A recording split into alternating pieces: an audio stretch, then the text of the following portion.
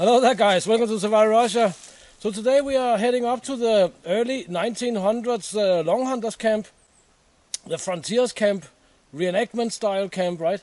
And uh, yeah, we are planning to stay there for the night at least.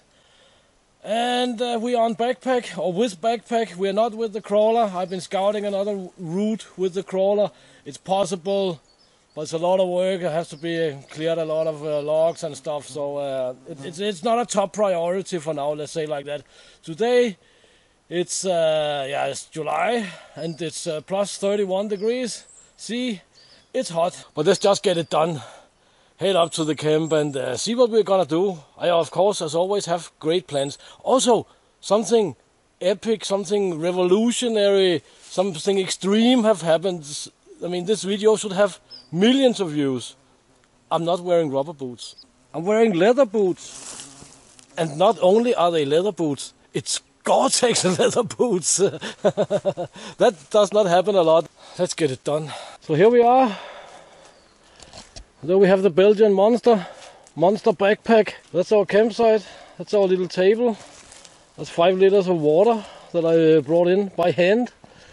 As you can see, we have a lot of uh, of plants growing. Let's say like that. Well, that is one of the things we're here today and tomorrow to do something about. And uh, yeah, what am I gonna do? I'm gonna sit down in the in the undergrowth there with my Mora or my uh, SRK and uh, and and cut plants, cut the undergrowth, whatever we call it. No, I'm not. But first we have to get into the backpack and get out a tripod and another camera and uh, some stuff and stuff. We have a lot of stuff with us today actually, including the awesome axe that I made. That's another weird thing. Lars has an axe with him. I could have brought the smaller one, but uh, now I made this, so why not? So I'm kind of unpacking a little bit, and uh, there's something that is really uh, surprising to me actually. There are not that many biting flies around. Doesn't mean that there are none, but uh, right here is not that many really. Not as many as I expected. I have uh, netting and all sorts of stuff with me, but when the dark comes, I know there's gonna be a lot of mosquitoes. There's a really a lot of mosquitoes after after the sun goes down. Anyway, up at the homestead, let's see how it goes here. At this specific time of year, I cannot legally carry a firearm, shotgun, rifle, whatever in the woods. It's uh, not allowed. So uh, if you're afraid to walk into the woods without a firearm at this time of year, then the law says don't go. Or pay a guy who has the permission to do so and uh, let him follow you around. that could actually be fun, right?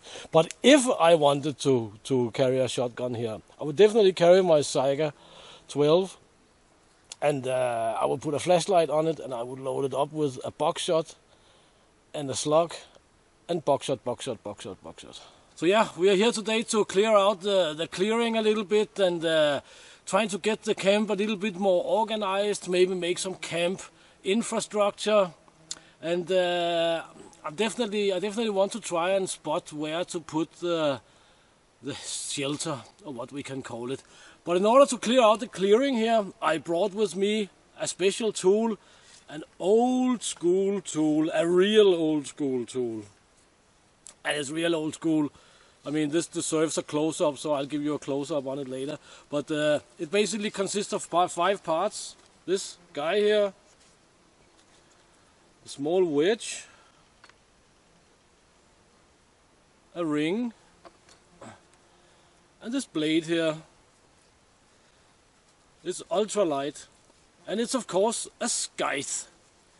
So uh, I'll be the Grim Reaper of the forest today. That's what we have. So let's get it put together and uh, let's do some reaping. so as said, this is a really, really old school tool. And uh, what this is, is uh, basically just a, a piece of a, a, young spruce that's been dried and uh, made into a handle. We have this, uh, yeah, another handle at a 90 degree angle on it and it's just uh, carved out of spruce as well roughly made. This is from the homestead that uh, we have actually a lot of old tools from the olden days. And uh, yeah. Then we of course have the blade here is also very old and used and not really straight but it's pretty sharp and I sharpened it yesterday of course. Then we have the wedge and we have the the metal ring here. So uh, we have this bump on the on the on the blade itself. Fits into the notch like this, like that. But first we of course have to put the, the metal ring and the wedge on and uh, yeah, let's get it done. So as you can see, this is how it's held together. We have the little uh, notch and uh, and bump here that uh, fits into the handle. Then we have the iron ring and we have the wedge. All I have to do now is to take my, uh, excuse me guys, to take my axe and uh, give it this uh, little wedge here a few taps and it should be in place. But I of course know this girl here, this old girl here quite well because I've actually used it uh, on the homestead now and then. Sometimes it can be, uh, could say, more handy than than the gasoline driven ones of, of the modern times. So sometimes I use it. But uh, here we have my nail kit, my big nail kit. I've been talking a lot about that. What I'm gonna do is I'm gonna just give it a few wraps here. Because I said, this is an old, uh, old, old girl. And uh, it can wobble a little bit back and forth. So uh, I'll just give it a few wraps here. So here we have the wire. I just spun around a few times and then I uh, inserted the the nail here. It's been for uh, a purpose, you can say. It's not so useful in this situation here. It's not unuseful either, but anyway, we're just gonna turn it a little bit with the nail here.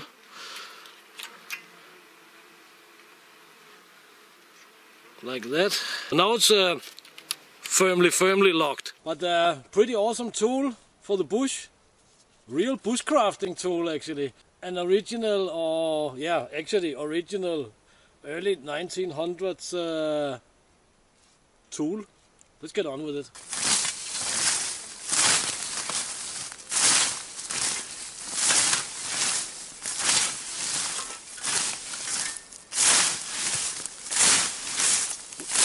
We also have to find a place for the tent because uh, I have my tent mosquito free zone with me today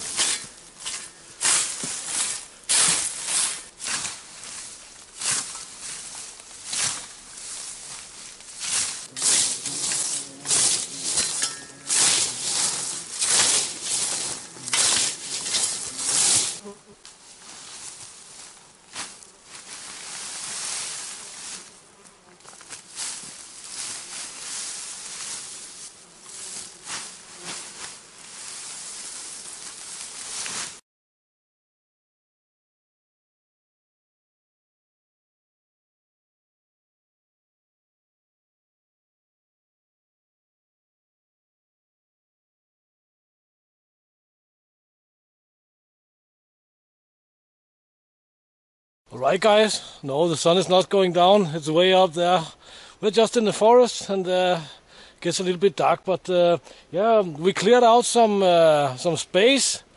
I don't know if it's enough but yeah, there we have the beautiful tripod but cleared out quite a good area. For now I was looking for a place to put the tent up somewhere where it's sort of like level and uh, it seems like here is a relatively good place. Anyway, we brought a little bit of of civilization out here. If that's a good thing, I don't know.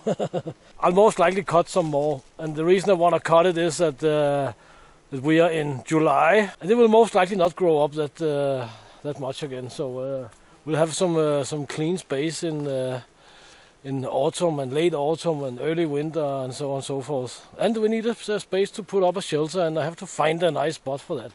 Blah blah blah.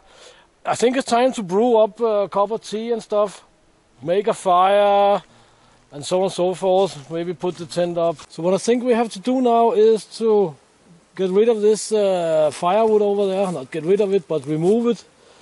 And uh, get a fire built over here. And then I think I'll try and see if I can transport this log over there, over here, and use it as a bench if it is not uh, completely uh, ant infested. Let's see how it goes with that.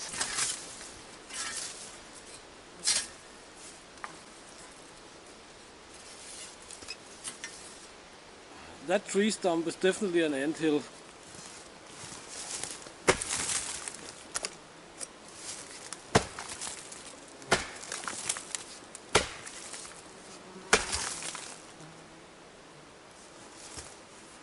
I smell fat wood, but I cannot see any ants panicking. I can see a spider panicking. That's alright. I'm not spider fan, really.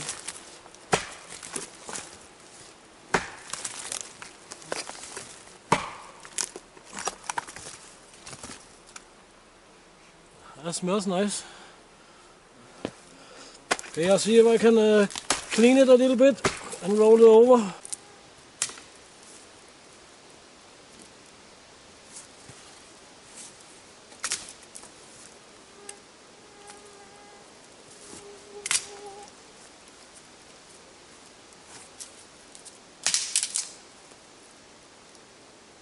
Alright guys, so uh, definitely time to, to get a brew on as I said and uh, we're also gonna cook something relatively soon put the tent up and blah blah blah but uh, for you guys who are not familiar with this uh, very simple Siberian uh, cooking stand concept which is actually pretty awesome on the snow, ice, hard surfaces like rock and so on. I want to run you over it uh, fast again because I had a guy who asked me a question about that his uh, when he made it his system was not really that stable.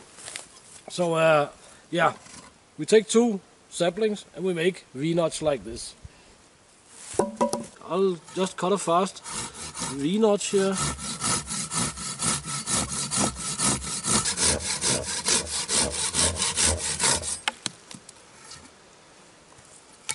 The V-notch here you can of course make with an axe if you're firm with an axe and you have your sapling laying on the ground you can of course just chop it once, chop it twice but I used the Silky Big Boy. So now we have two guys that looks like this they're flat in the end. It uh, can sometimes be uh, an advantage to sharpen them a little bit or make the, the ends pointed so uh, we're gonna do that in this case here. So there we have the Siberian tribesman's cooking system or cooking stand. And in all fairness, it can be a little bit wobbly or wonky, you can say. But uh, this is easy to, to uh, mitigate. It can wobble a bit back and forth. And uh, if we're using a much heavier, larger, longer sapling than this one, that will generally be uh, be enough, you can say. And especially also, if we have pointed ends that we can stick into the ground or the snow, then it also helps a little bit, you can say. But of course, sticking the end of the pole down in the ground, that helps a lot in stabilizing this little system. Seawater boils, autumn.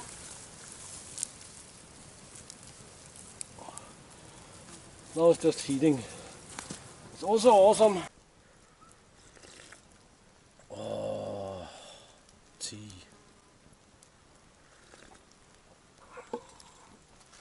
a little bit of uh, flat bread, very flat bread. I don't know what this is called in English.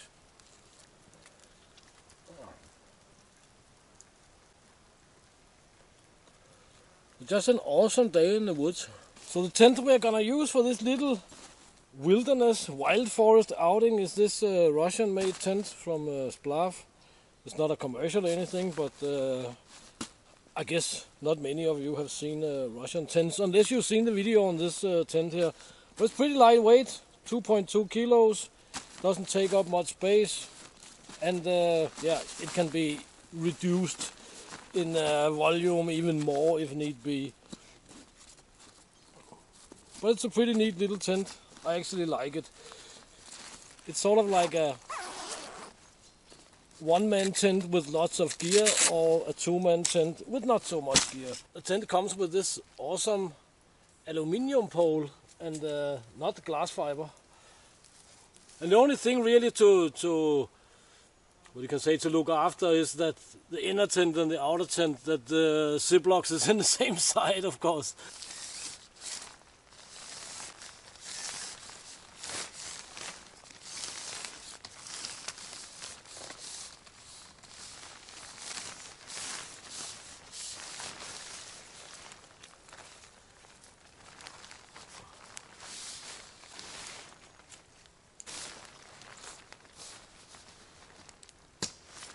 There we have it. It doesn't look so nice there because the ground rises there a little bit. And uh, of course this tent peg sits straight in a mouse corridor. I get my boots on because I will most certainly step in this little tent peg. I'm bound to do that. For a ground pad I just have this inflatable guy here. I store it inflated. We'll just put it here and inflate slowly. So down here we have the sleep system. It's a bivy.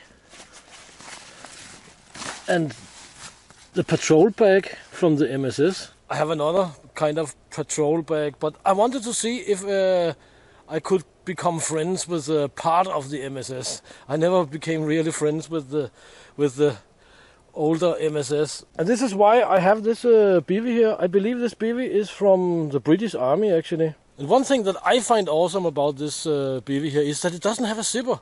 It has a pull cord, a cinch cord, but it does not have a zipper or zip lock. So that sounds like it's a little bit difficult to get out of, right? But uh, from this part and up, it's actually very, very wide. So it's actually quite easy to get in and out of and you can even sit up in it. And as I said, it has a cinch cord, so uh, so no problems there. But I'll get this guy loaded in, right, guys. So I'll guess that uh, at least some of you have seen this video where we, uh, or I am cooking this soup or making this soup.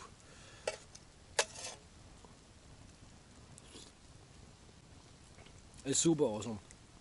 I think it's the best uh, meal I had in the forest for a long, long time. There's been some good meals in the hunting cabin, of course.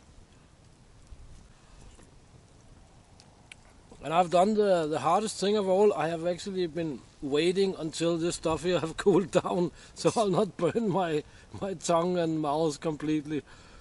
But this is really, really great stuff. But something crazy have happened, or actually is happening. This is definitely deserves millions of views. There are almost no mosquitoes. I tell you, at the homestead, at this time where it's dark, it's not really dark, it's dark to the cameras.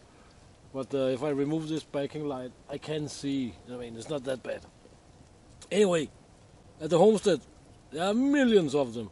I mean, you will not sit outside in the evening at the homestead unless you are half mad or super drunk or something like this.